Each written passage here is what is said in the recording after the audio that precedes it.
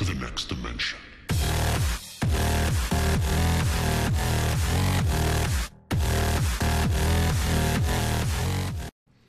Hey guys, this is Undercover Dudes all the way from Down Under with a Black Friday sale guide. What you should and shouldn't buy in order to go and expand your combat arms arsenal.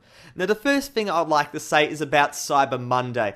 If you can, hold out to Cyber Monday because you get some amazing, amazing deals. NX Res, even more heavily discounted guns on that one single day. So if you can, make sure to go and wait for that. Now, going down onto the other items that are already released at the moment, the Mist Infinity, don't buy it, it's a piece of shit ripoff. Activated, oh the suspense, oh the suspense. Alright, let's see what I get. Are you, I not, I, I, um, um, are you serious?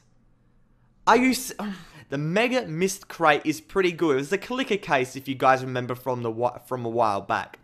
It's quite good if you have good luck, and that's how all gambling is. If you have good luck, you're gonna get good stuff, but if you have bad luck, just don't buy it. GP Extremes, don't need them. The Super Weapon Renewal Kits, make sure you stock up on those because they are definitely, definitely, definitely worth it if you have a gun that you really, really, really like. A permanent M67 frag pack, not so really that good. The NX scopes and stuff, nobody really cares about. The spec licenses are really nice if you use uses spec a lot, but who uses spec these days when you can get 25% speed and own everybody that has a spec? The passes. The passes are very good. The 100% bonus EXP and GP passes. I've personally got heaps in my inventory, but if I didn't, I would definitely stock up on those because they're quite cheap and you get 100 of the 100%, so that's quite good. In terms of the weapons, all of them are 40% off, all 40% off permanent NX weapons. In terms of the assault rifles, the Autumn G36E Valkyrie is one of the most overpowered guns in the game as an NX standard weapon. Definitely go and pick that up. The MK14 Mod O is still good in my opinion, but the Autumn G36E Valkyrie goes and absolutely just takes it out of the ballpark.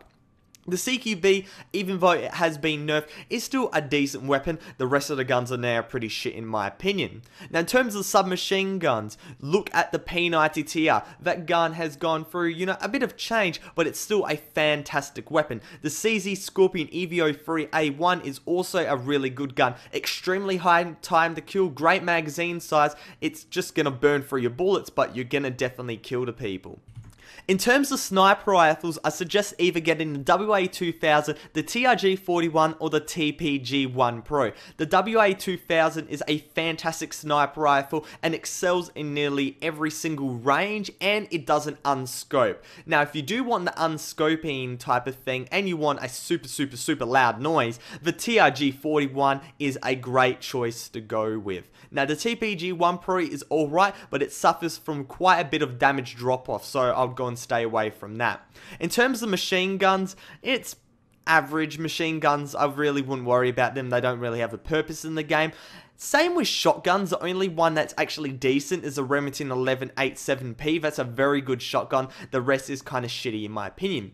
In terms of launchers, the Autumn Law is back, and that is a very, very, very good rocket launcher. So if you need some explosives, definitely go and pick that one up. In terms of pistols, it's fairly obvious. The G18 Cobra is one of the best pistols in the game, and the K5 SD is shit. The Beretta 93R is shit. So, you know, buy the G18 Cobra. It's $6. It's an amazing weapon. Now looking at the popular NX items, the only one I would suggest you guys to buy, if you need it, is the player name color change. That's quite nice. I like having a bit of color on my name. The player name change, if you have something you want to change, obviously. Clan name change and the clan emblem if you're starting or, you know, just want to go and change up your clan. The rest is just really average and it's not really worth it. In terms of the huge GP sales, Permanent Declan is post-nerf Declan, and such his speed is being reduced and basically useless. A light vest is better than him. 30% off Permanent Baron, who cares about Baron because Baron's bad. Heavy vest, who cares about heavy, heavy vest. If you want to go full tank, you buy Hauser, but in the middle, it just doesn't work. You'll tank some shots and sometimes you won't, and the speed will just infuriate you. So don't buy any of these two guys. A light vest or a recon vest is better.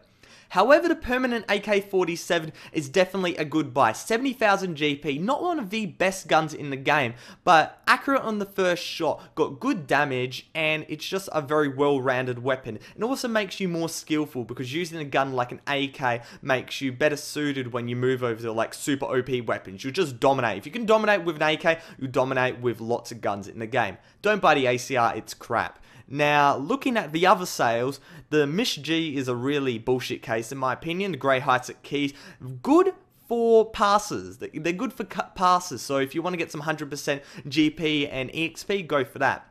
Now, the last three are very interesting. 30% off base character change. So if you want to go to the guy that looks constipated, I'll put him on the screen. He looks awesome. And if you want to go to the female equivalent, then there you go. You've got your base character change. And you've also got your gender change. In my opinion, guys, stick with male. I don't know why, but I like male, and the guy looks really cool. The guy with a massive buzz cut and looks like he's just gonna go and act, really just stab you in the face. He's one of his serial killer guys. He's pretty cool. Now, the clan record reset, don't get them because nobody likes resetting clan record because it just makes you look like a pussy.